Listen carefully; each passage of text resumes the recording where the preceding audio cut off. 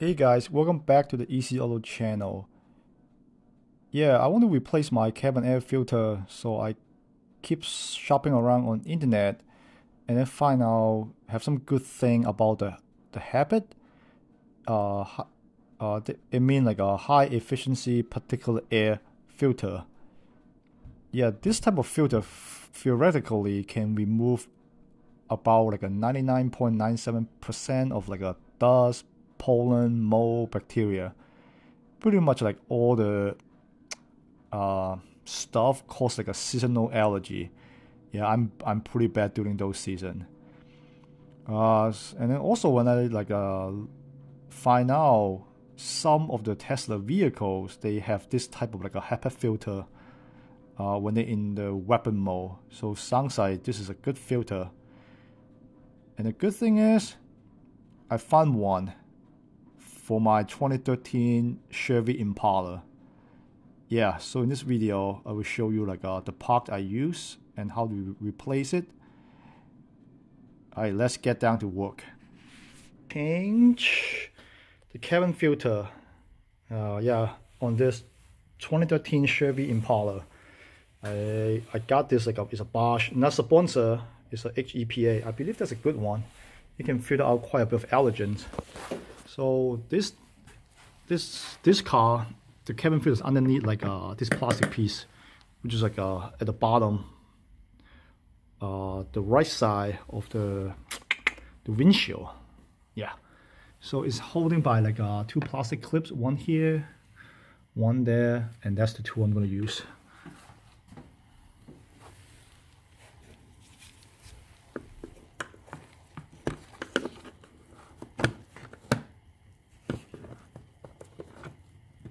Okay.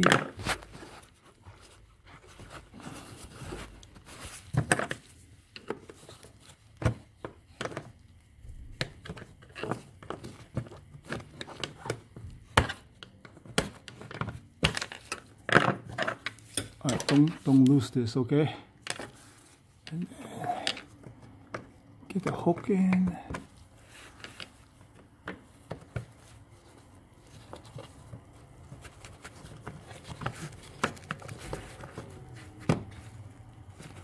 Almost there. Oh, got it. Right, one out. One more to go. It's right here.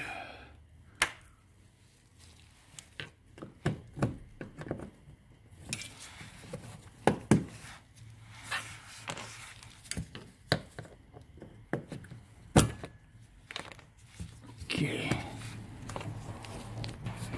less oh yep. That should be enough right?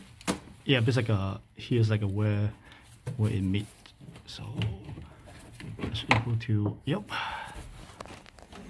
And then be careful this line. Is the windshield fluid line. Make sure it's like detached from this piece and then slide out. That should be good and then now you can remove this plastic please. And here the filter. Uh, and I should do is get a vacuum cleaner to suck up all the dirt and leaves before I remove it because I don't want anything drop into the, the blower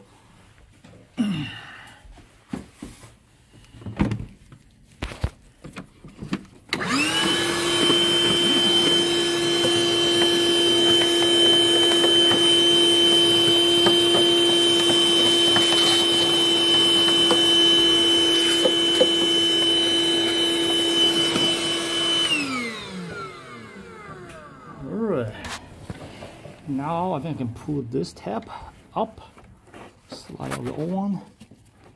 Be careful, make sure like no loose.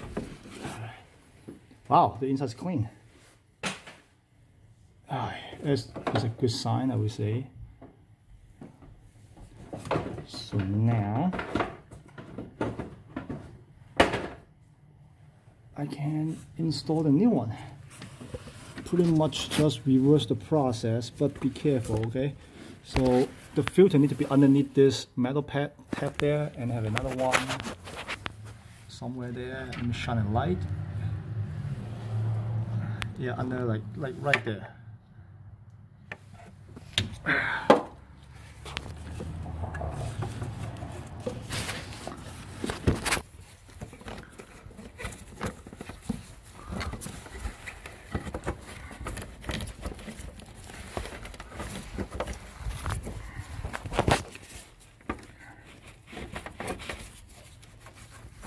Alright, slide in, everything's snug, which is nice. The foam sealing it is good all the way around.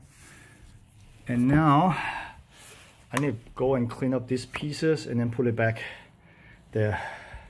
Maybe it's a good idea to grab some like a windshield cleaner to clean up the bottom of the windshield, all the dust. Alright, I clean up this piece. Now I can like, uh, like this side should be underneath the lip here and then all the tab should be on the top.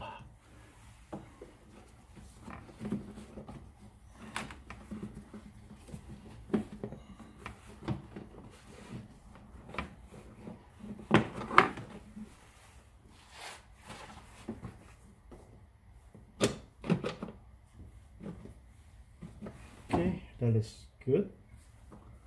And now this piece. See, slide this first. And then don't forget to clip the, the windshield uh, tubing underneath here. And then align the hole. So now I can install those plastic clips.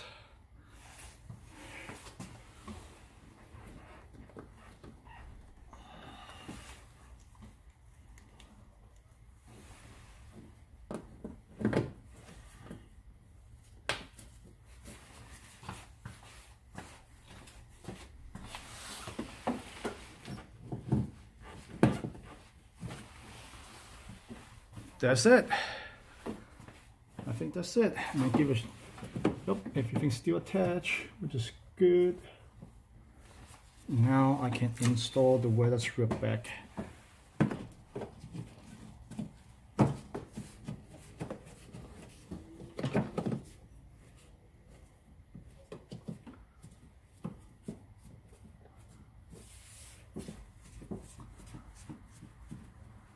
All right. That is good. Alright, that's how I replace the the cabin filter. It, I hope it can give me like a better smell when the next time I when I use the, the AC or the heat. So here's the part number. Alright, thank you for watching guys. See you in the next video. Bye bye.